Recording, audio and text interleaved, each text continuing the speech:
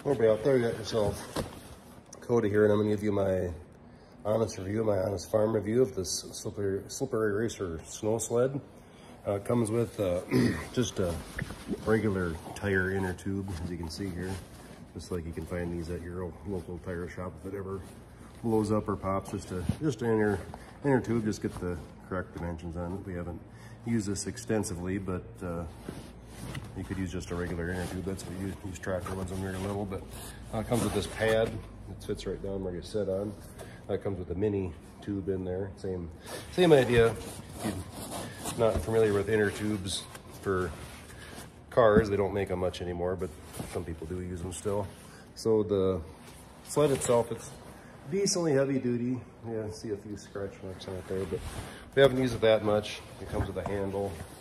I say the quality is about average.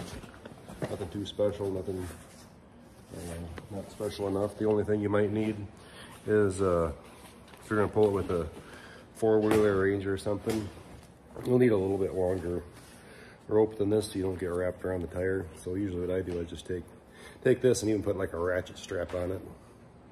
Uh, put in your hitchy or whatever you're pulling it with around the yard. I guess most people probably don't, well maybe you do, maybe some people pull it just by hand, but that's that's not fast enough. That's not, that's kind of boring. So if you want to go fast, put it behind a snowmobile or Ranger four-wheeler.